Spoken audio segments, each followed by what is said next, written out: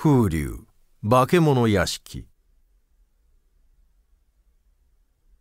1ザクロ屋敷にもののけの沙汰。住宅難の今日。こんなことを言うと殴られるかもしれないがわずか十数年前までは東京市内などにもよく化け物屋敷と言われる空き家があった。各申す夫婦邸の住んでいた大森馬込にもそんなのが2軒あって酔った元気で探検に乗り込んだりしたことがある。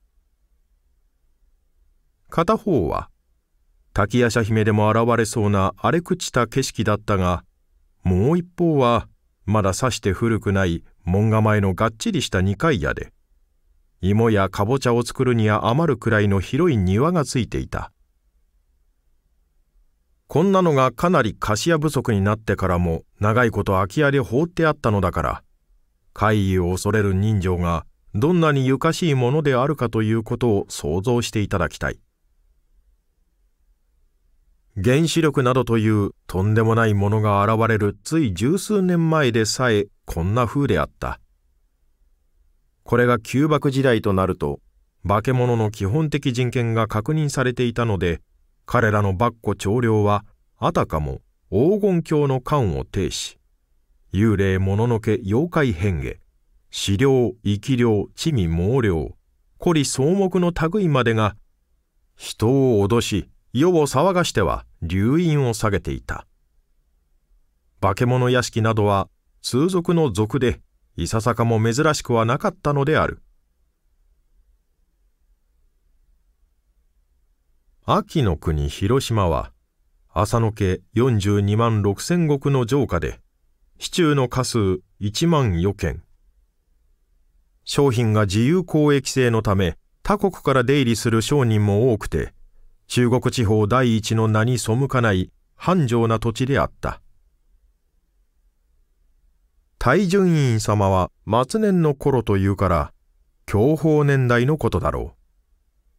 この繁華な広島城下のしかも武家町の中に一軒の化け物屋敷があった。城の東に出慶園という藩校の選定がある。場所はその近くで武家町としては外れの方だったがもう七八年というもの空き家になっていた。一頃は望んで住むものもあり中には一つ俺が退治てやろうなどと押しかける手合いもあった。けれどもよくって一晩、育児のないのは夜中まで持たない。例外なしに青くなって逃げ出すと、それっきり口を拭って寄りつかないのであった。元禄享保と言われるくらい市民は降伏して太平に酔っていた時代である。武士の気風も支配堕落していたんだろう。などときまくには及ばない。いつどこにでも岩見重太郎や宮本武蔵がいるわけではなく、武士だって大抵は人間並みの神経を持っていたし、怪力乱心を語らずと言って、むしろ化け物いじりなどは軽骨とされたくらいである。その家は、自体もう古くてかなり荒れていた。元は五六百石の侍が住んだものだろう。部屋数も多いし馬屋もある。庭も五百坪ばかりの広さだが、木という木は遠慮もなく枝を広げ、それへ藪がらしだの、イラクサだのがむやみに絡み茂って、さながらうっそうたる密林の感を呈している。庭正面の空いたところは、一面に目だけのタケノコがニョキニョキ伸び、その真ん中に高さ一畳五尺もありそうなザクロの木があって、季節になると枝という枝に朱色の花をびっしり咲かせるが、荒廃した風景の中でその毒々しい赤さは一種の容器を帯びて見える。誰の目にもそう映るのだろう。いつからかこの家はザクロ屋敷と呼ばれていた。さて、家の裏は、くぬぎと杉の林、東は深い藪で、西側に屋根付きの井戸がある。そこから三四軒置いて、火場の生垣を境に、三浦十兵衛という隣屋敷と続いている。三浦は馬回りの250石で5人家族。夫婦と老婆と一男一女である。長男はまだ8歳。娘は富といって17になる。この家族はみんな隣の化け物屋敷のことをよく知っているが、中んずく娘の富が最も熱心な観察者であって、彼女はそのために高官な美貌録を書いている。全体富は幼い頃から物に驚くことが好きで、この世に不思議や不可解なことがなかったら生きている張り合いもないと断言しているくらいだ。したがって化け物屋敷についての美貌録は極めて入念詳細にわたり、年月日、天候、時刻、現象、度数など、その記述の科学的なること、井上遠慮氏の幽霊学をしのぐこと万丈である。その一般を適用してみよう。通例として怪異現象は人が住んだり胎児に乗り込んだりするときに最も活発である。光り物と激しい強音。天井裏を石臼でも転げるような。と愛国悲鳴とが建物全体を包む。それはまさに、化け物どもが獲物を迎えて大共演を開くようだと彼女は記述している。人間がいないと現象はずっと低調になった。光り物は母屋の廊下を通過するが、軒先から屋根の上などへ現れて消える。強音も慟哭もごくかすかで、あたかも化け物どもは武量を囲っているようだと美貌録には記載してある。しかし書き割りはこのくらいにして、これから読者諸君を現場へご案内することにしよう。だがちょっと待ってください。今、三浦家の門へ少年が一人飛び込んだようです。ああ、富城の弟の小太郎ですね。彼は庭ですぐ姉を見つけました。そして肩で息をして血相を変えてこんなことを言っています。姉さん、大変だよ。隣の化け物屋敷へ誰か引っ越してくるよ。まあ。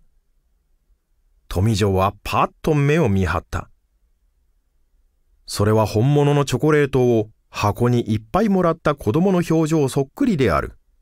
しかもなかなか美しい。彼女は弟に事実かどうかを確かめた上、もう一度大きく、まあと叫び、多分、美貌録を書くためだろう。あたふたと家の中へ駆け上がっていった。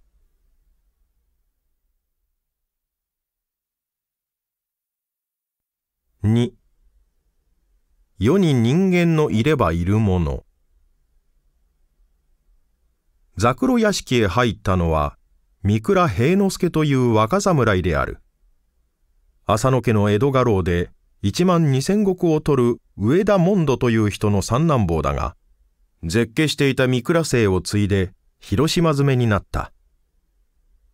年は二十七歳。肉付きのいい五尺七寸余りの堂々たる体育と、のんびりしたず抜けて明るい上品な顔が人目を引く。由来三男はすばしっこくて負け嫌いの暴れん坊と商標の決まったものだしかるに平之助は全然その逆であった。いや逆などという生優しいものではない。世俗の異端者常識の謀反人というべきである。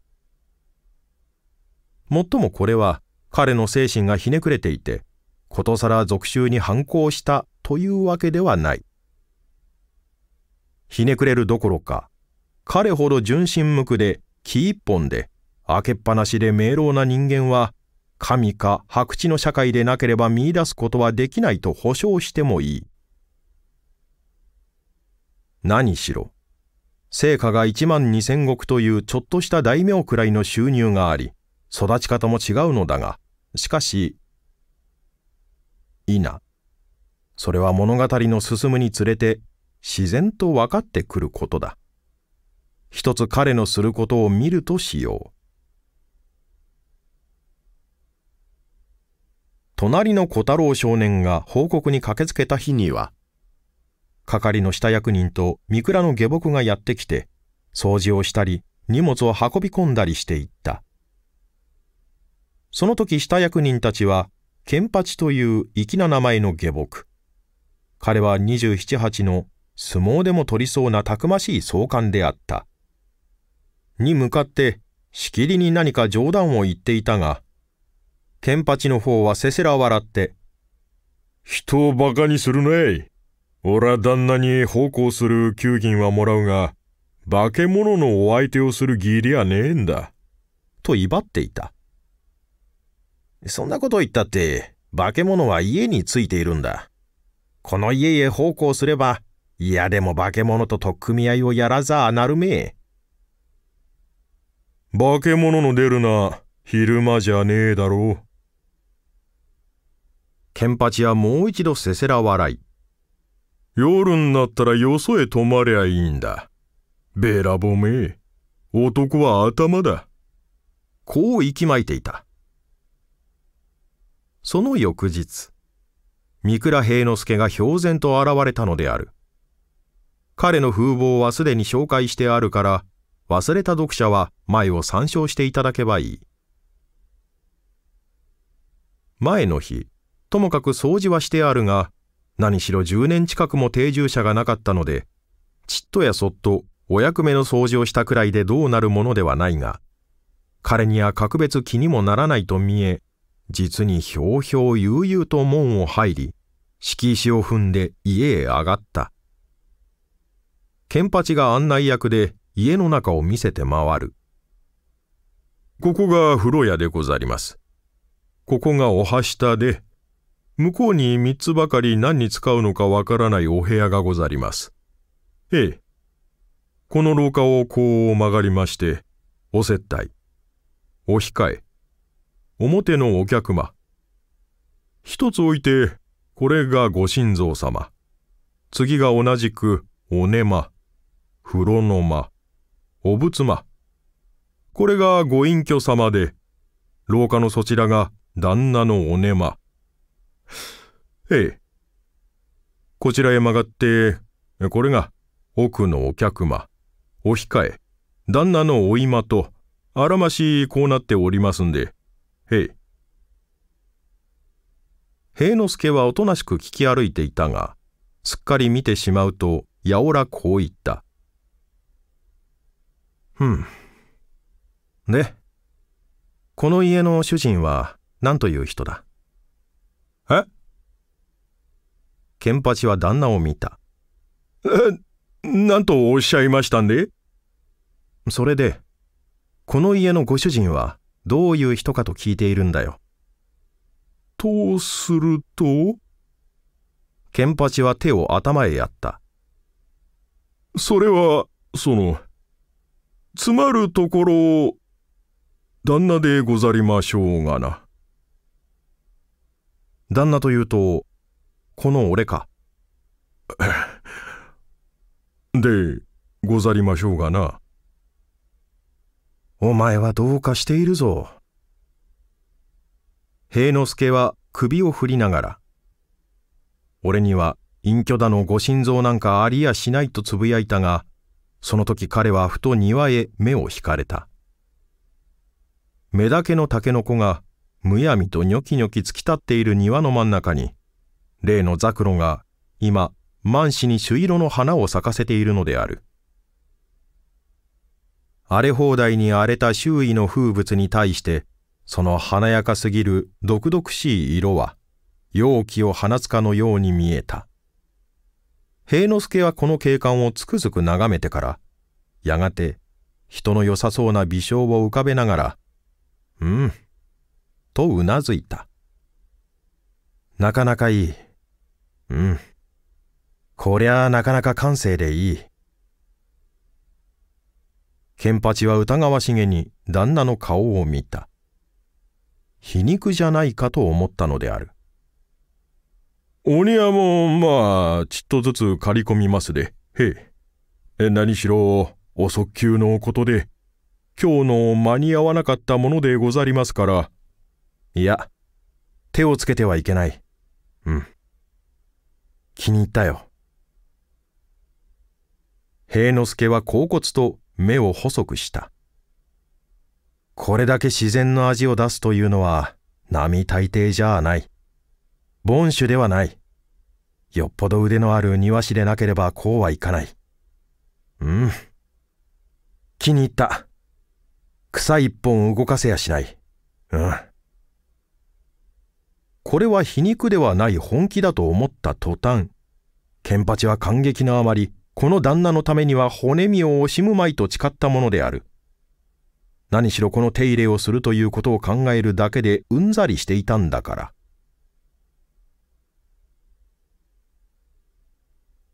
この時、向こうの火場の生垣からこっちを見ている娘があった。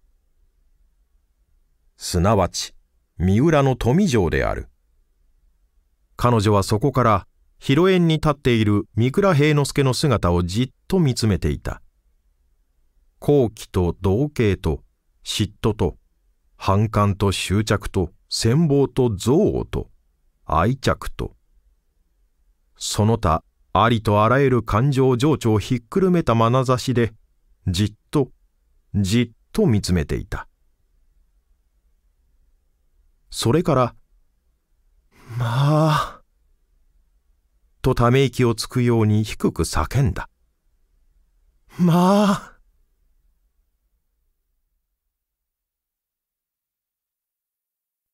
三。だんだんと日の暮れゆくには、昼飯になると、市中の小売亭という料理屋から酒をつけて食事が届いた。何しろだいぶみんなで奔走してくれたが、奉公人がとんとんなかった。当時は3月が奉公人の出代わりと決まっていたので、季節外れにはなかなかないものだ。それでもザクロ屋敷でなければ、二人や三人、都合のつかないわけはない。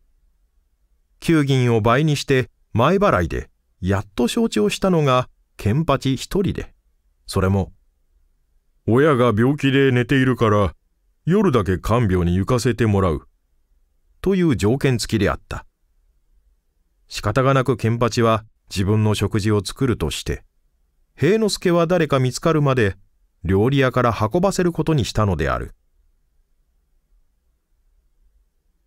昼飯を食べると彼は横になった。片付けに来たケンパチが見ると酒に手がつけてない。これは召し上がらねえのでござりますか？ああ。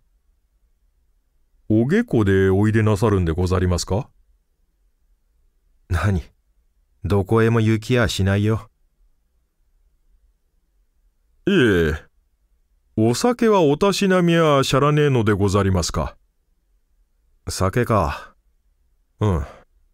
酒は飲まない。旦那はこうおっしゃった。酒を飲むと酔っていけない。つまらないもんだ。へえ、ごもっとも。では、このまま。ケンパチはごくっと喉を鳴らして全部を下げていった。平之助は半時ばかりうとうとした。昼飯の後の一眠りは少年時代からの重要な日課で、それをしないと夜の寝つきが悪いのだそうである。人を訪問した時もこれだけは欠かしたことがなかった。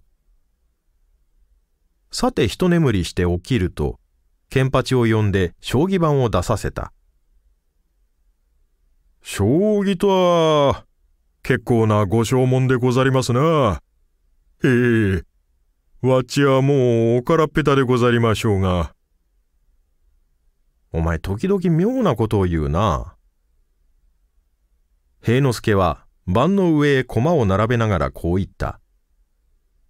おたしなみはしゃらないだの、お速球だの、結構なご証文だの。おからっぺただの。それは、広島の方言か。方言だか兼業だか知りませんが、えへえ、ええ、まだその、お武家言葉をよく存じやしゃらねえので。そうか。しゃらねえのか。ふん。こんなことを言って並べたのを見ると、向かい中飛車で中盤どころまで差し掛けてある駒組だった。てっきりお相手と楽しみにしていたケンパチ、がっかりして、旦那お一人で、おさしゃしゃ、しゃしゃ。舌を噛むなよ。シャルでござりましょうがな。そんなつまらないことはしゃりゃあしない。相手はちゃんとあるよ。というと、このお土地の方で？何？江戸だ。江戸？とケンパチは唾を喉へ突っかけた。とおっしゃると、その、ずっと遠くのあのお江戸でござりますか？そうだ。ずっと遠くの江戸だ。へえ。えで、その、その江戸のお相手とお察しなさるんで。その相手と指すのさ。へえ。ケンパチはごくっと唾を飲んだ。それでその、どうやって、その。どうやるものか。将棋は向こうが一手指せば、こっちが一手指すと決まったものだ。相手は笹の九太夫と言って、江戸屋敷ではなかなか強い。これは俺が先手で始めたんだが、笹野にこの五五歩を突かれて取るかどうかに迷っているところだ。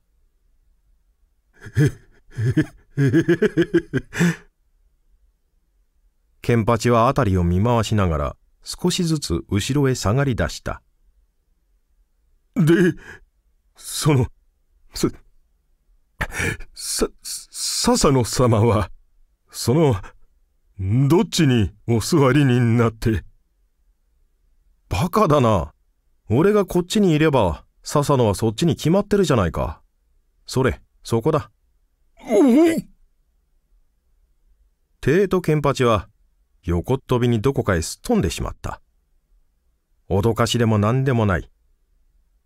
江戸を立つ時差し掛けになったのを、これから一手ずつ、飛脚便で差し継ごうという約束をしてきた。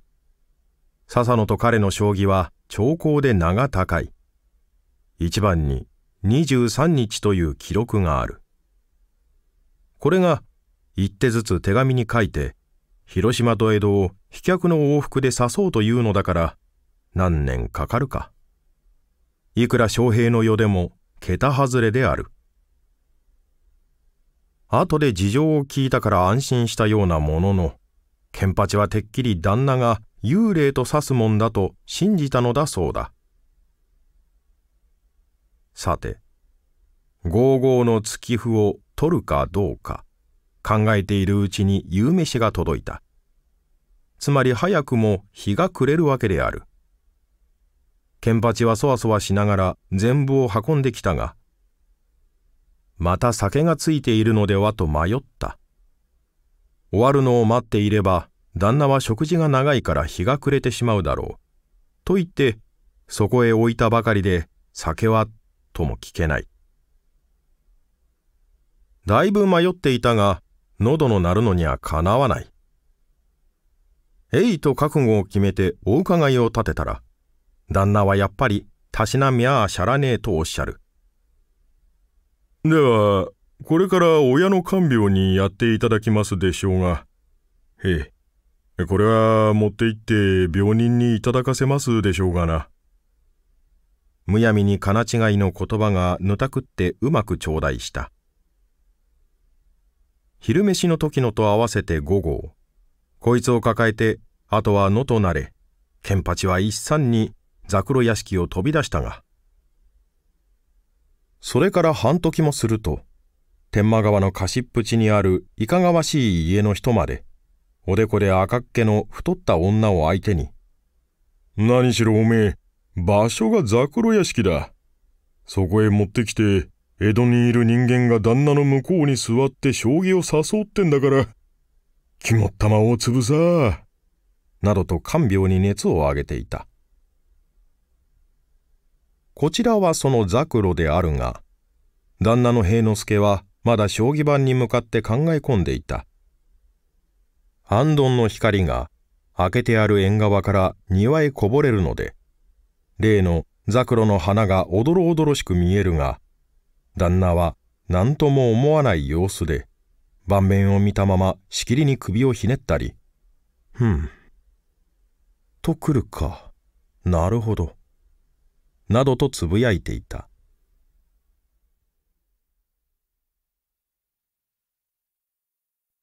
4寝耳うるさき床下の声平之助が寝たのは10時過ぎであった昼寝をしたおかげでぐっすりと眠り込んだが何時間ぐらい経ってからだろう天井で恐ろしく騒がしい音がするので目が覚めた。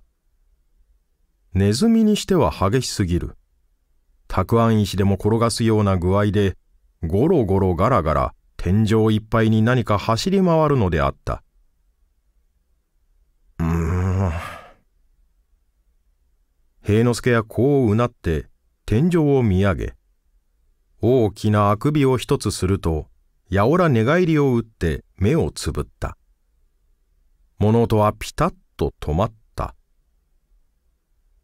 耳を浪するような激しい轟きが急に止まると、気味の悪いほど、しんと夜影の静寂がのしかかった。何の音もしない。小札付き、死のごとき静寂だ。しかしその沈黙の中に、やがて何かのかすかな声が聞こえ出した。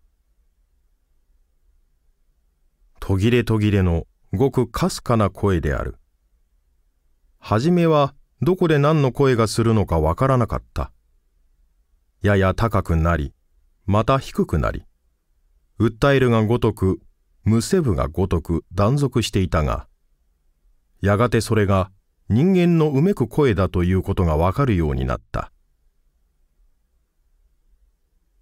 しかもそれは、平之助の寝ているすぐその床下から聞こえてくるようだ。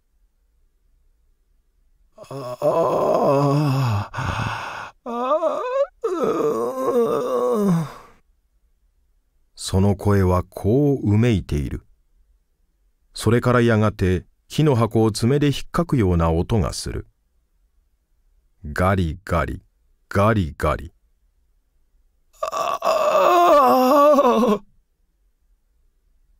絶望的なうめきからやがて絶え絶えな喘ぎと言葉に変わるお願いですここから出してください缶箱の中は苦しくってたまりませんああお願いします棺の中から出してください。それからまた、絞られるような声でうめく。平之助はまた寝返りを打った。何しろ枕のすぐ下から聞こえるので、熟睡できないらしい。舌打ちをして、彼はだるそうに寝床の上へ起き上がった。眠いので目がくっついている。両手を膝へついて、神戸を垂れて、うん、もう、とうなった。すると床下の声は、耐え入るようなすすり泣きに変わって、はあ、朝まじい。手も足もこんなに腐ってしまった。あたしはもう半分骸骨だ。ここから出たい。お願いします。どうか、この棺の中から出してください。うーん。と、ケンパチの旦那はうなった。それからまた一つ大きなあくびをしたと思うと、さすがに少し怒ったと見え、なんだか知らないが、昼間のことにしてくれ。眠くってしょうがありゃしない。こう怒鳴って、ごろりと横になった。床下の声は、それからも続いた。缶箱を爪で引っかく、ぞっとするような音も。けれど旦那も黙ってはいなかった。二三の寝返りを打ったと思うと、いびきをかき始めた。しかもそこらにありふれた俗な種類のいびきではない。それは、極めて組織だった五音階の歴音と殺音とよりなり、繰り返されるフォルテッシモの部分において巧みに主題を表現するのであるが、その単純な主題の反復変化するだけで、核のごとき操縦華麗な効果を上げる例は、モーリス・ラベル作るところのバレエ曲、ダフネとクロエ以外には類がないであろう。床下の声も、物音も止んだ。その音楽的効果において、到底的すべからずと見たに違いない。それからもどこかで、襖の開く音や、廊下を行く忍び足の音などが起こった。天井で突然、ケラケラと女の笑う声もした。これらは床下の声よりも洗練された技巧と表現を持っていたが、結果としては、旦那のいびきの伴奏に役立っただけである。ケンパチは夜が明けてから帰ってきた。旦那は化け物に取り殺されたか、それとも夜中にどこかへ高飛びをしたにそういない。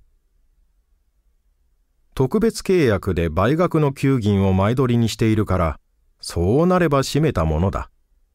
こう考えながら家へ入った。それから鼻歌などのいい気持ちで、廊下をずっと旦那の部屋へ行くと、蚊帳がつってあってヤグが敷いてある。しかし旦那の姿はどこにも見えなかった。思わず、かっちけねえと叫びかかったが、ふと裏の方で旦那の声がした。私は三倉平之助というものです。こう言って誰かと挨拶を交わしているようだ。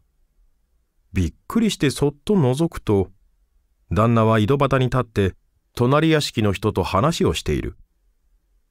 あ生きてやがる思わずそう言ったものの、こいつはいけねえと横っ飛びに台所へ飛び込み、どうか縁起の治るようにと力いっぱい力んで、一つ屁を引った。実にこれらの人間は下船なものである。生垣を挟んで平之助と挨拶を交わしていたのは、三浦の富城であった。彼女は興奮と感動で全身がいっぱいになり、立っているのもようやくというふうに見えた。それで、それで昨べは、よくお休み遊ばしまして。よく寝ました。私は昼寝さえすれば、夜はぐっすり眠れる方です。何にも、別に何にも変わったことはございませんでして？そうですね。彼は手ぬぐいで襟首をこすった。富城の好奇心はまさに頂点に達し、両手は夢中で生垣の火花の方をむちり散らしている。平之助はなかなか口を開かない。富城はたまりかねたのだろう。声を震わせながら。私、お宅でいろいろな物音や人の鳴き声などがするように聞きましたけれど。ああ、そうそう。旦那はニコッと笑って富城を見た。そうでした。そんなことがありましたよ。やかましくって眠れないもんですからね。とにかく昼間のことにしてくれと言っておきました。昼間の？だって、夜中にどうしようがあるもんですか。誰だって寝る時刻ですからね。まあ。富城の両手が、この時ほど勢いよく生垣をむしり出したことはない。彼女は庭師のハサミより素早く火花をむしりながら、そして、脅威と憧れの燃えるような目で、激しく平之助を仰ぎ見ながら、深く深くこう短足を漏らした。まあ。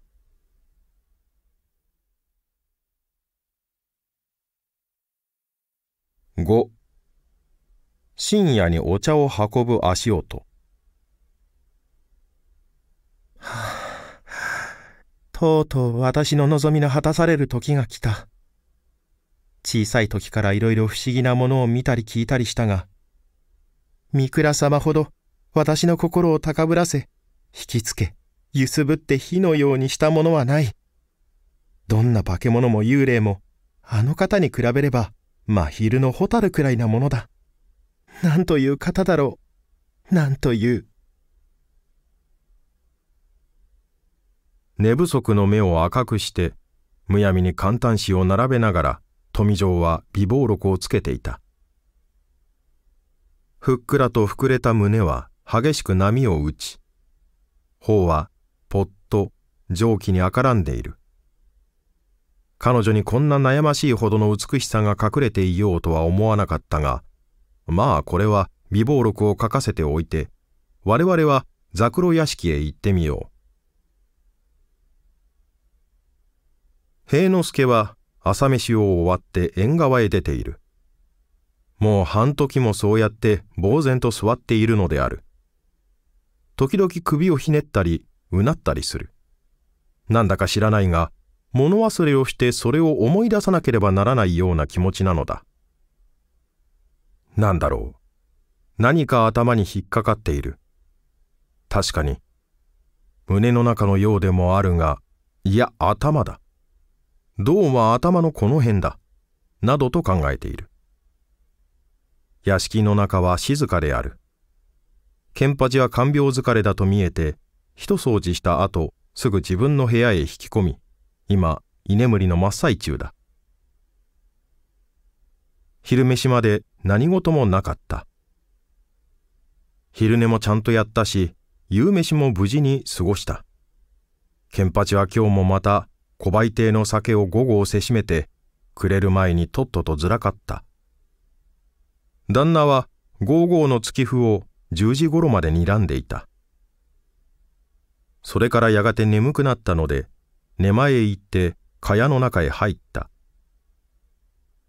ケンパチがずらかって間もなく降り出した細かい雨が、陰々と更けてゆく日差しに密かなささやきの音を立てている。静かだ。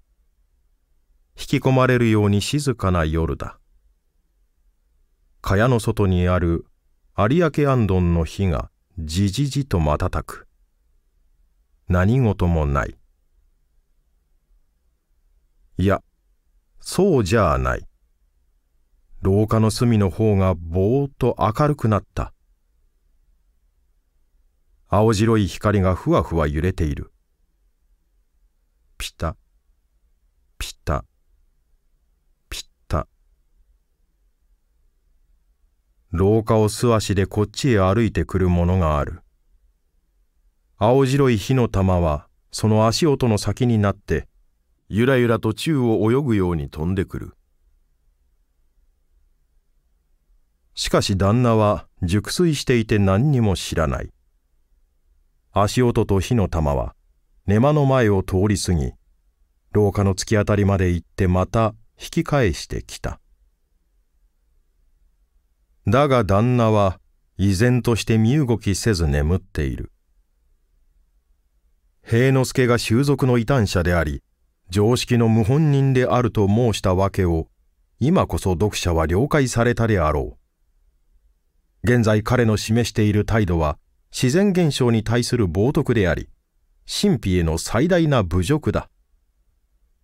と息巻いてみたところで、当人がこの通り眠っちまっているんではどうしようもない。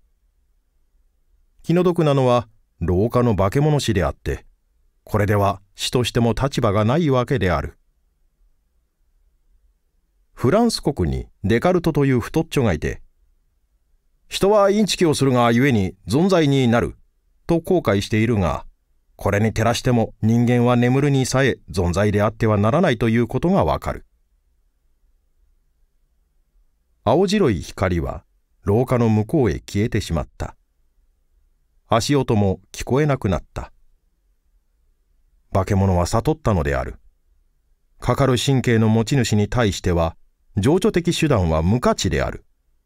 もっぱら実効的、具象的方法によるべきだ。火前天井で例の石臼でも転げるような音が轟き始めた。ゴロゴロガラガラ、やなり振動である。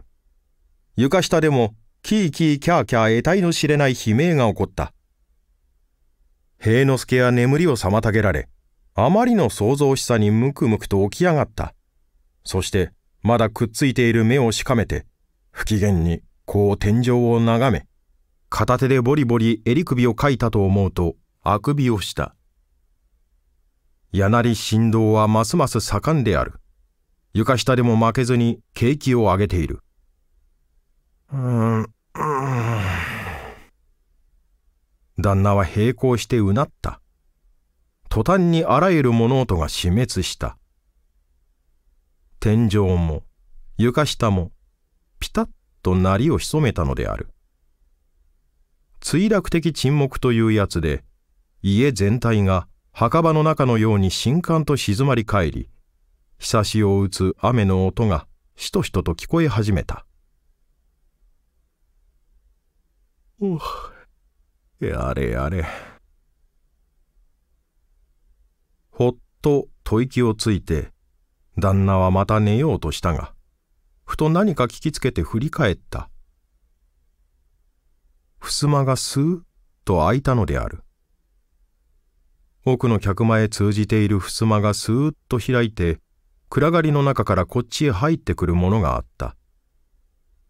暗丼は反対側にあるし、火が補足してあるからよく見えないが、確かに誰か入ってくる。それは、蚊帳のそばまですっと音もなく近寄った。手にお盆を持っている。そして静かに蚊帳の外へ座ると、細い、かすかな声で、お茶をあがれ。と言いながら、こっちへ向いてこう顔を上げた。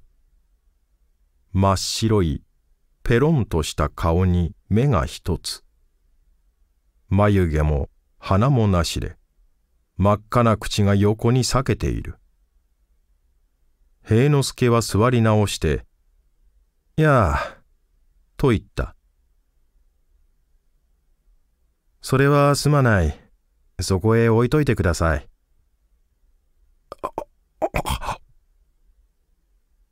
化け物は口を開けて何か言った。何です？何か言いましたか？平之助はこう言って初めて相手の顔を見た。いやこれはどうも。失礼ですが大変な怪我ですね。やけどですか？何が？何がって。いや、失礼。目鼻立ちがだいぶ欠けておいでだから、やけどでもなすったのかと思ったんですよ。これは、やけどなんかじゃありませんよ。それと、生まれつきですか。生まれ？変なことを言わないでください。化け物ですよ。腫れ物ですか。面長というやつですね。一つ目小僧ですよ。さあ、面白くなってきた。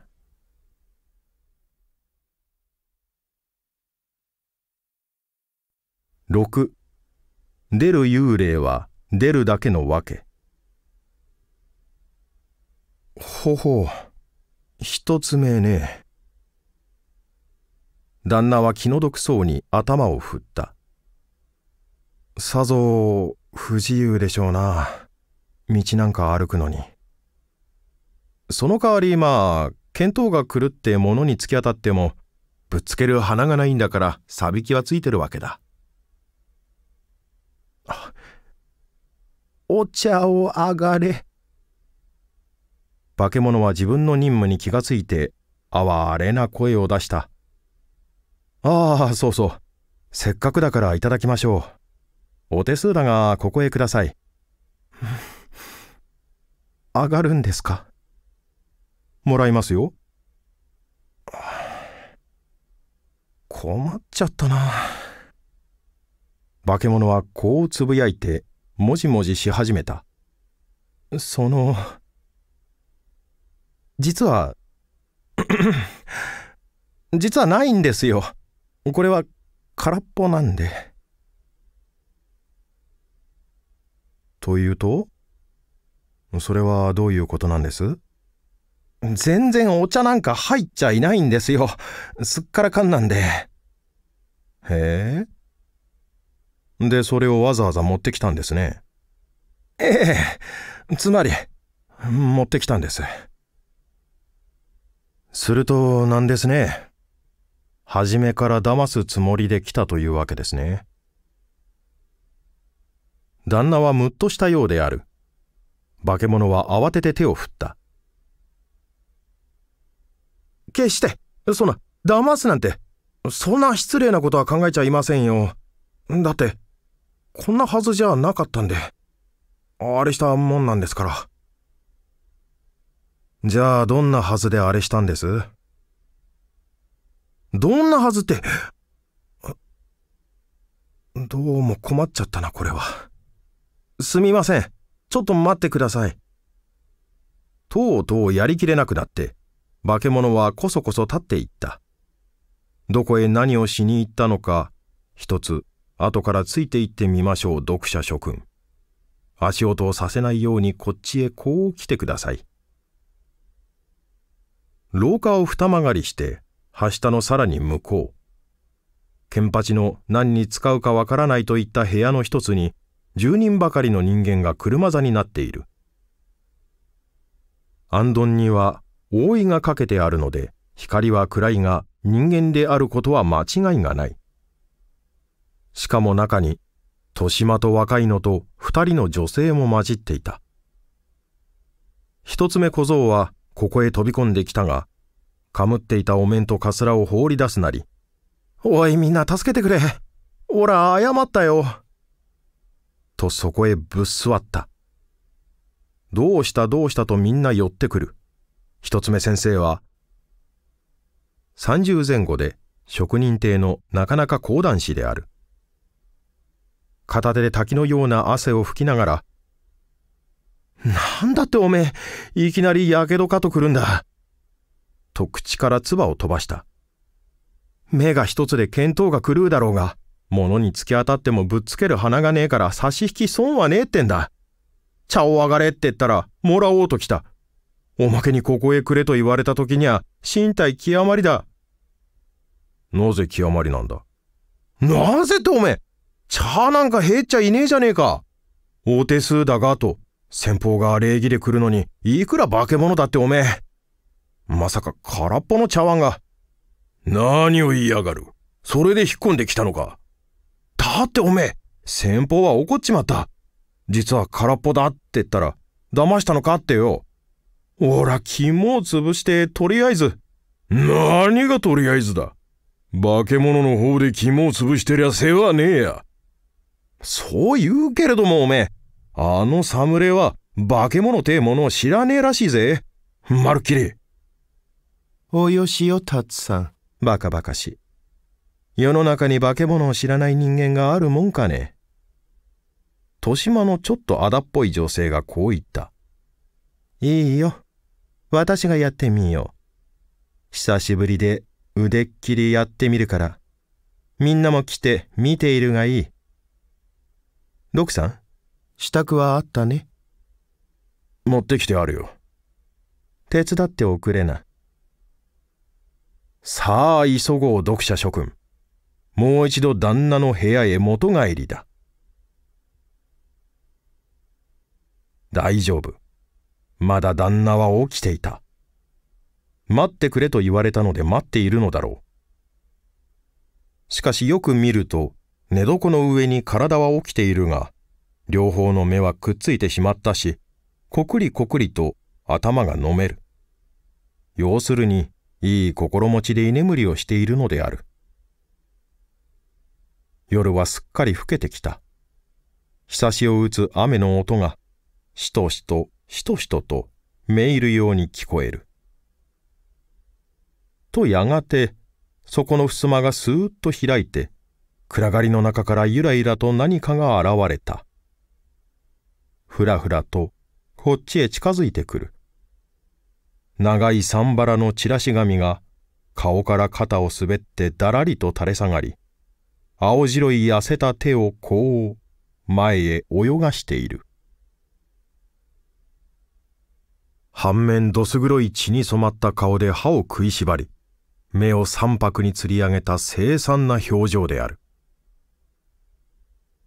骨だった細腰を折れたようにかがめ、長い裾を引きながら蚊帳のそばまでスーッと近寄ってきた。そして糸のようにか細い怨念のこもった声で、恨めしやな。とうめいた。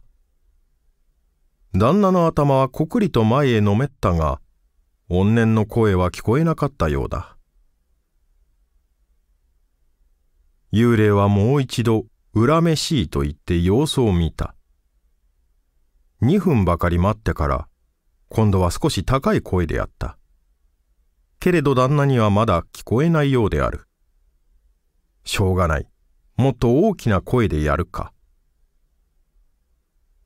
しかし怨念の恋などというものは糸のように細くて哀れなのが相場であって、野球の応援団のように景気よくわめき立てるわけにはいかないのである。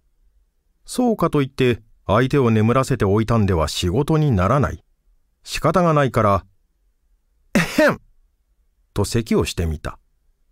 咳払いをする幽霊なんてそうざらにあるもんじゃないが、こいつは効き目があって旦那の肩がピクッと動いた。これはうまいともう一つ追っかけてやった。果たして旦那は目を覚まし。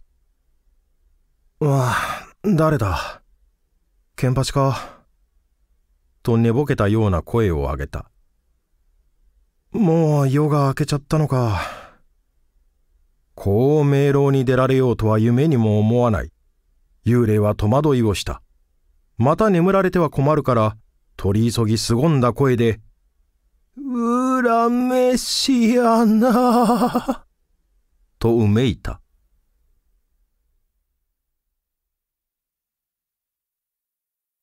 7知らない者の強さにも好き。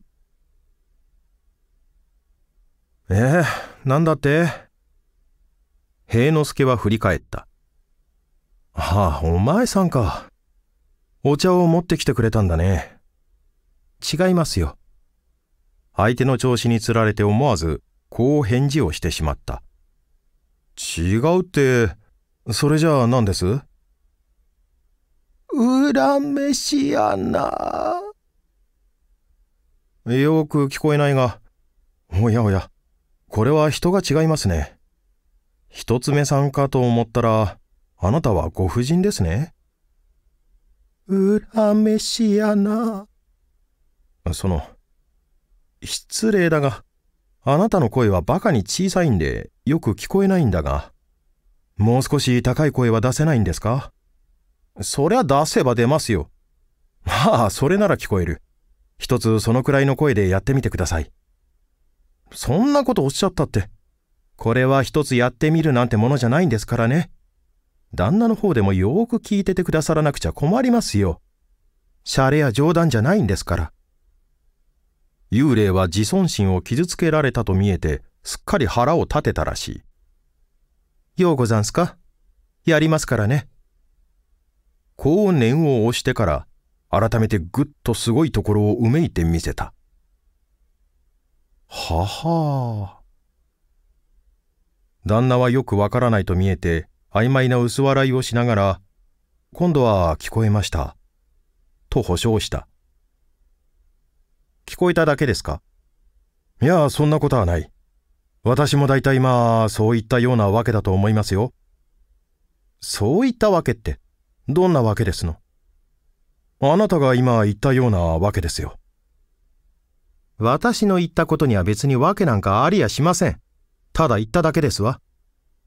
それならなおさら文句はないでしょう。これだから女は嫌いだ。終わりの言葉はごく小さくつぶやいたのだが、幽霊の方は勘が立っていたから聞きとがめた。なんですってこれだから女は嫌いですって。へえ、旦那は女がお嫌いですか？ああ、嫌いですね。大嫌いです。ことにそんな風にツンケンする時の女は、ミミズよりも嫌いですよ。ミミズですって、へえ。幽霊は開き直った。おっしゃいましたね、旦那。私のことをミミズっておっしゃいましたね。そんなことを言うものか。ミミズよりも嫌いだと言ったんですよ。ミミズはそんなつまらない理屈をこねやしないし、泥まみれの顔に髪も言わない失礼な格好なんかで、人の前へ出てきやしない。大きにお世話様。これは泥じゃないんですからね。紅と五分を練ってつけた血のりなんですから。紙だって、言っていたのをわざわざ解いてきたんだ。へっ、わけも何にも知らないで、あんまり人を馬鹿にしないがいい。うるさい私はそういう声を聞くと感触が起こってくる。すまないが出て行ってください。ここは私の寝所ですから。まっぴらごめんですよ。こんな恥をかかされて、へえそうですかと出て行くような姉さんとは姉さんが違うんだから。出すなら出すようにちゃんと話をつけてもらいましょう。こう言ったと思うと、幽霊はそこへ縦膝をして、どっかと座り込んだ。とうとう、喧嘩になってしまった。縦膝をした裾合いから水色ちりめんの生めかしいものがちらちら見える。けだし彼女は長年の経験からかかる場合に最も効果的な姿勢をとったわけであろうが、半面を血のりで塗りたくってチラシ紙というこしらえだから、その効果はむしろ逆になったと言うべきだろう。平之助はまだ怒りを抑えていた。じゃあ出て行かないのですね。ああ、行きませんよ。本当に出ませんか出ないから好きにしたらいいでしょう。さあ、切るともつくともご勝手にしてください。平之助はすっと立って蚊帳を出た。途端である。隣の部屋から、まあまあ、旦那、どうぞしばらく。と言いながら、十人ばかりの人間がどやどやなだれ込み、片方は幽霊を、片方は平之助を押しなだめにかかった。へえ、なんとも申し訳がござんせん。あれは風天のお松という暴れ者で、腹を立てると相手の見境がつかなくなる性分でござんす。どうかまあ、旦那、お腹立ちもござんしょうが、曲げて一つ。お詫びはどんなにでもいたしますから、どうかご勘弁を。命ばかりは、どうか助けておやんなすって。よってたかって拝み倒しにかかった。何をそう騒ぐんです？平之助はあっけに取られて、私はどうもしやしない。あの人が出て行かないと言うから、向こうへ行って寝るところですよ。へえ、え向こうで？今の方で寝ますよ。こう言って出ようとしたが、そこでふと十人余りの人間の現れたことがいぶかしくなり、振り返ってからみんなを眺め回した。ほう、だいぶ大勢いますね。ええ、ええ、どうも、なんです、飛んだ王子山で。つまり、ケンパチの言ったご隠居とご心臓というのは、あなた方だったんですね。え隠居だの、ご心臓なんて、そんなものじゃござんせんので、へえ。口の聞けそうな五十絡みの男が、こう言いながら進み出た。彼はこの旦那がず抜けてのんびり育ったお坊ちゃんで、本当に化け物も幽霊も知らないし、世間の裏表などは全く無知だということを察したのである。手数をかけることはない。これなら直談判でごまかせる。こう考えたから、もったいをつけてもう一つ笑った。実は、そのなんです。旦那におすがり申して、ぜひ助けていただかなくちゃならねえことがござんすもので、こうやってまあ揃ってお邪魔をしたと、こんなわけでござんすが。そりゃあどうも。私には何の力もないが、とにかく向こうで事情だけでも聞きましょう。今へ来てください。平之助はこう言って寝間を出た。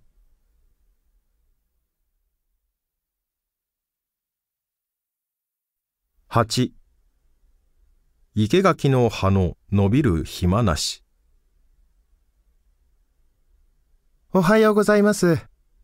いや雨の中を屋根があるから駆け足で井戸端へやってくるといきなり声をかけられてびっくりした生垣の向こうに傘をさして昨日の娘が立っているあなたでしたか早いですねあなたこそ、おはようございますわ。私は寝過ごして飛び起きてきたんですの。飛び起きて何しにです？何しにって。こう言いかけて、娘はパッと赤くなった。読者諸君は信じないかもしれないが、夫婦亭は決して嘘は言わない。富城は赤くなった。そして自分が赤くなったことに気がついたら、恥ずかしさのあまりもう一段と赤くなって、それからツンとした。何がって、それはあの、昨べも何か変わったことがあったかどうか、それがあの、伺いたかったからですわ。ああ、そうですか。そのことなら昨べもありましたよ。一つ目小僧なんてのが茶を持ってきましてね。ああ。と富城は見張れるだけ目を見張り、片手でひしと生垣の火場をつかんだ。それが、お茶の入っていないのを持ってきたもんで、先方は大変恐縮していましたっけ。ところがその後で、サンバラ髪の血のりなんかつけた女が、これは幽霊と言うんだそうですが、現れましてね。ま、まあ。富城の手は非常な勢いで生垣の方をむしり出した。それで三倉様はそれをご覧になったんですのね。仕方がありません。向こうでやってくるんだから。ま あ娘は感動のあまり胸が引き裂けそうになり目がクラクラしてきたああ私の体はあの方の胸へ倒れてゆく。こう思ったくらいである。そして実際倒れかかったのだが、幸せなことに生垣があって支えてくれた。そこで富城は偏方に、その葉を凄まじい速度でむしり散らし、まあと叫ぶなり家の方へ走り去っていった。おそらく美貌録をつけるのであろう。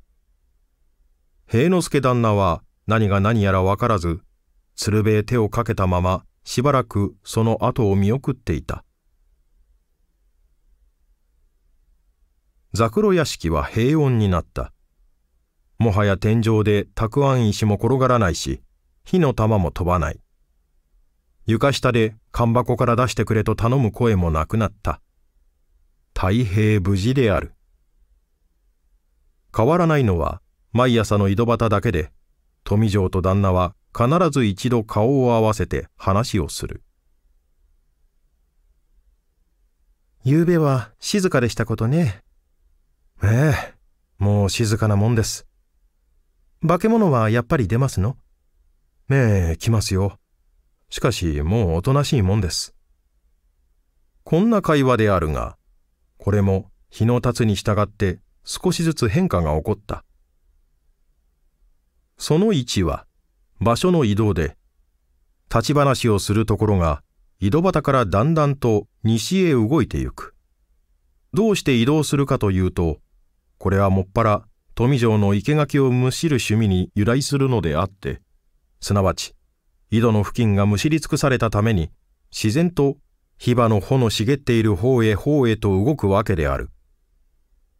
その2は、富城の虚祖言動が変わってゆくことで、彼女はいつか薄化粧を始め、おしろいや紙油の匂いをさせるようになった。生垣のむしり方なんぞも、一頃よりぐっと上達して技巧が加わり、小指をこう美しくピンと反らせて、ごく上品に、優雅に、ちょいちょいとやるといった具合である。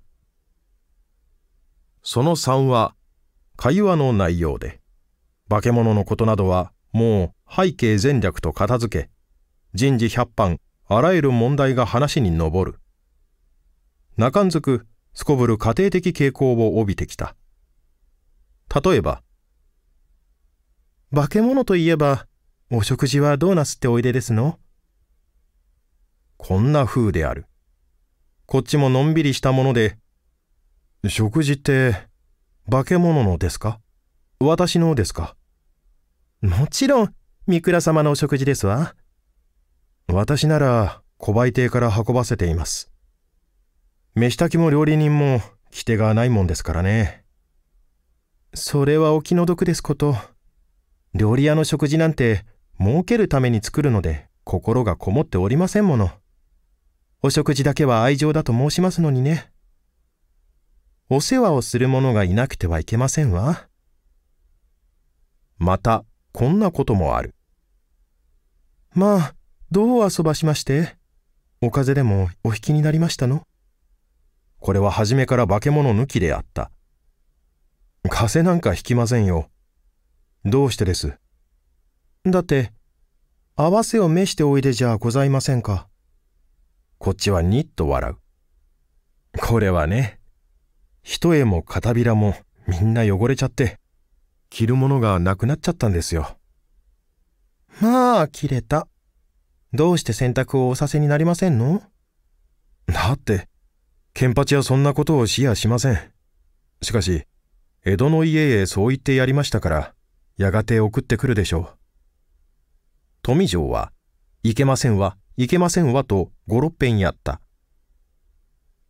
それで、汚れ物はどうなさいますの？みんな突っ込んであります。そんなにしておくと傷んでしまいますわ。私がお洗濯いたしますから、ケンパチに持たせてよこしてくださいまし。今日すぐでございますよ。その日、ケンパチは山のような汚れ物の包みを背負って、裏から三浦家へ行った。思考してさらにその午後、富城は生垣をむしるよりも活発に洗濯をしながら、お世話をしてあげるものがなくっては、なくっては。と歌のように独り言を言い、旦那はゴーゴーの負を睨みながら、お食事は愛情だ。ふん。ゴーゴー負を構わず、いっそこっちは飛車を回して、お洗濯と行くか。などとやっていた。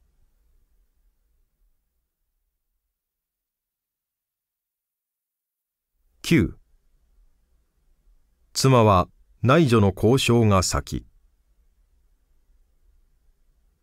昨夜は大勢お客様でしたのねある朝富城は不審そうに聞いたこっちはなおさら不審である客なんか点でありませんよだって富城は指差しをした生垣の茂みを追って移動した結果、二人は今やザクロ屋敷の裏口の見えるところまで動いていたのである。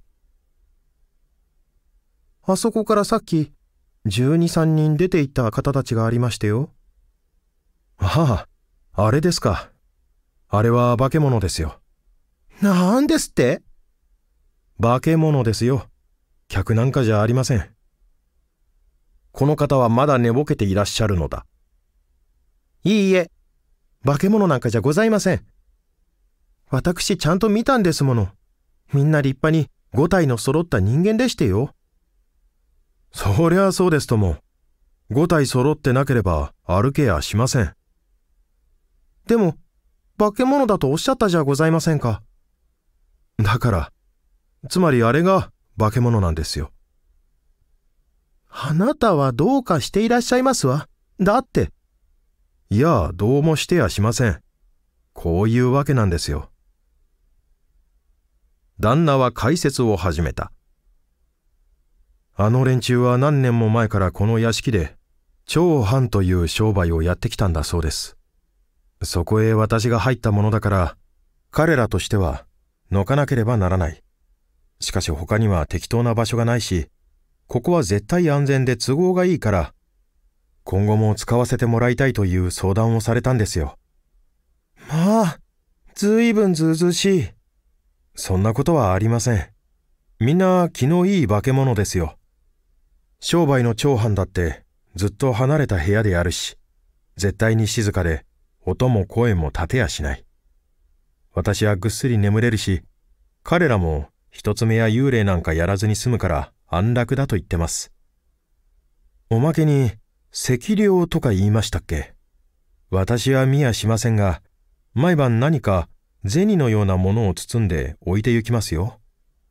まあ富城の手は久しぶりで活発に生垣をむしり出した。しかし彼女の思考力はすでに空想の美から現実の美へと移っている。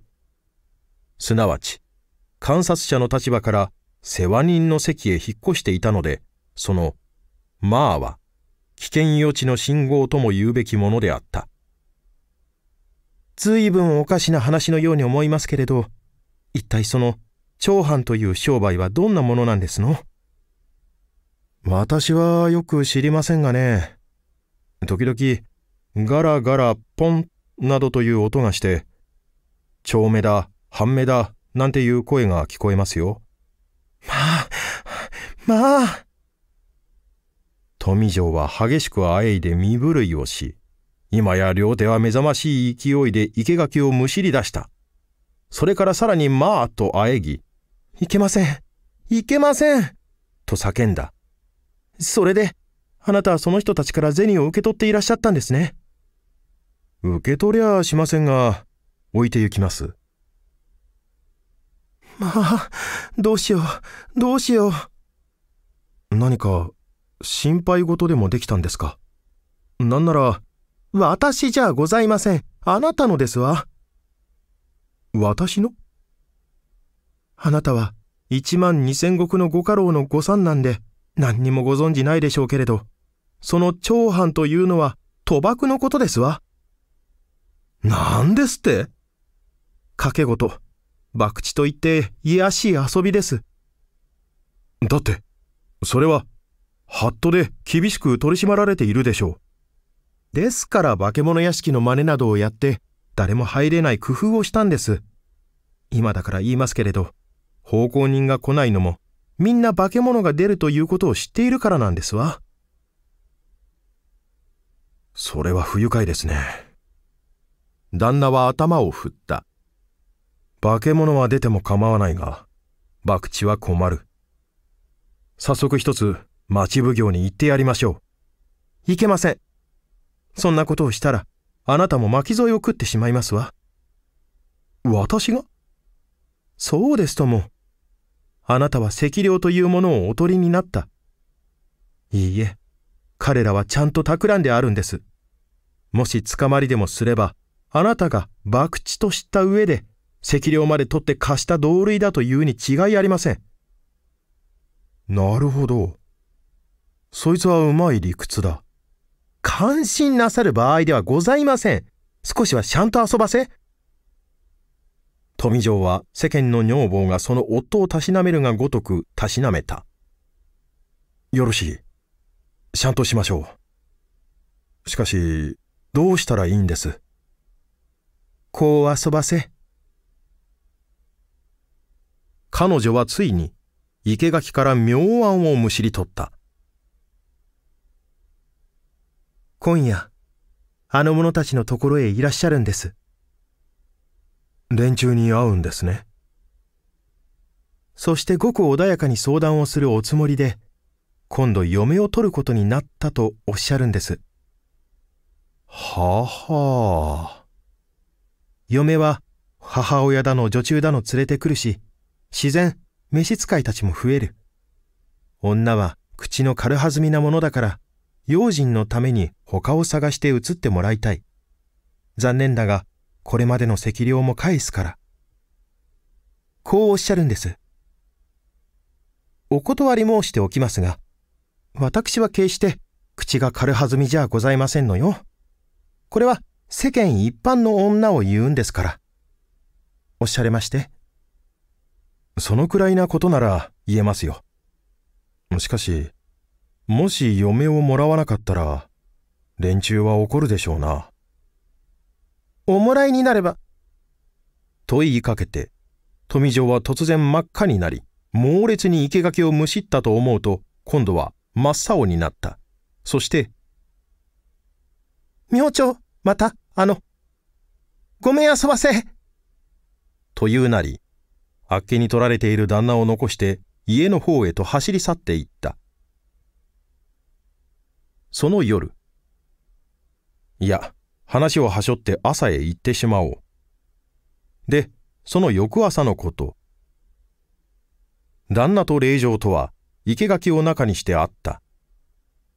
いや、どうも驚きましたね。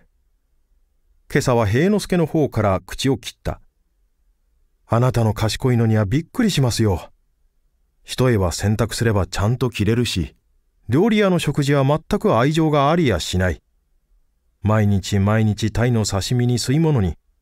夕べはどうなさいましたの？夕べは。あれもぴったりです。文句なしですよ。嫁が母親と女中を連れてくると言いましたらね。連中、ああ、それではダメだと一遍なんです。他のことならどうでもするが、嫁さんと嫁さんのお袋じゃ命が危ない。まあ失礼な。なんという恥知らずなならず者でしょう。よく知らせてくだすった。長い間お世話様と言いましてね。もう決してお邪魔はしないからって、穏便に話がつきましたよ。では、もう何もかも心配ありませんのね。ええ、さっぱりしました。何にも、ですの？ええ。爪の先ほども心配はありません。よろしゅうございますこと。いい心持ちですよ。富城の手は生垣の上にあった。しかし今朝は一つも火花をむしらないのである。目は伏せたままだし、胸地のあたりは大きく波打っている。確かに、生垣をむしるよりも重大な何かを待っているようだ。旦那の方もしきりに頭をひねっている。またいつかの物忘れをしたことがあって、それを思い出せないといった気持ちだ。そうだよ。何か言うことがあったっけか。はて。などと考えている。女性の敏感ほど神秘なものはない。富城はすぐにこれを見破って、この方は何もかも、と心の中で合点した。それこそ何もかも、そばからお世話してあげなくてはいけないんだわ。これは人道的であり、母性の保護本能であって、いささかも利己心や牽制の意味は含まれていないのである。で、彼女はこう言った。では、残った問題はただ一つですのね。奥様をおもらいになること。そうでございましょう。ああ、それですよ。それが重大な。ではごめん遊ばせ。また明朝。そして富城は、彼の表情にある効果の現れたことも確かめて、誇らかに臨然とそこを離れた。それから一時の後、旦那はゴーゴーの負を睨みながら、こんなことをつぶやいていた。そうだ。ゴーゴーの負は捨てとけ。将棋は嫁を詰めれば、嫁じゃない王をめとれば、いや違う。ええ、違ってもよし、嫁を詰めろ。で、同じ時三浦家では、富城が美貌録にこう書いていた。あの方は、お申し込みになるに違いない。そうしたら私はきっぱり断るわ。ええ、きっぱりと。そして尼寺へ入って一生清らかに、あの方を思って泣きながら暮らすわ。これは神様に誓って断然そうするのよ。どんなに望まれたって、お嫁になんか行かなくってよ。ええ、決して。でも衣装は模様物なんかよすわ。どうせ一度きりですもの。それより、秩父織とか紬とか実用向きのものをたくさん作っていただくことだわ。でもそうするとお式には何を着たらいいかしら。はあ、困った。心配だわ。心配だわ。